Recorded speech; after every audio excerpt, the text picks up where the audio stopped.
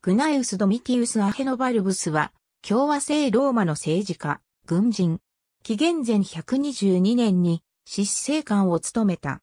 紀元前129年からレガトゥスとして執政官マニウス・アクイリウスの下でアタロス朝の内乱鎮圧に従軍する。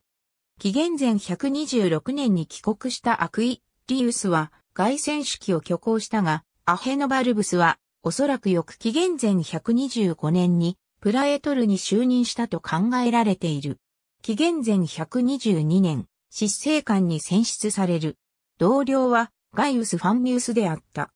アヘノバルブスは前年のプロコンスルガイウス・セクスティウス・カルイヌスを引き継ぎガリア人に対処した。アッロプロゲス族がアリエス族のトートモトゥルス王を支援し、親ローマ派のハエドゥイ族の地を荒らし回ったため、軍事的報復を行い、ウィンダリウムでの戦いに勝利した。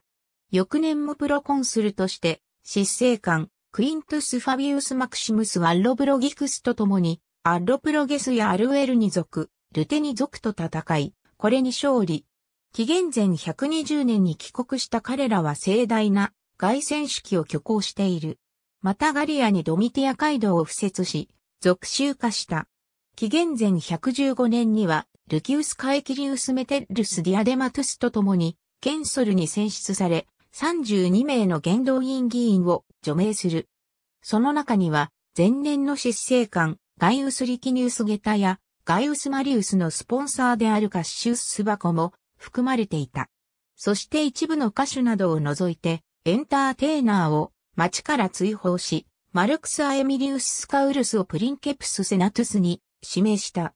いつからかは不明だが、人議官にも就任しており、紀元前104年頃に死去した時、息子が継ぐことはできなかった。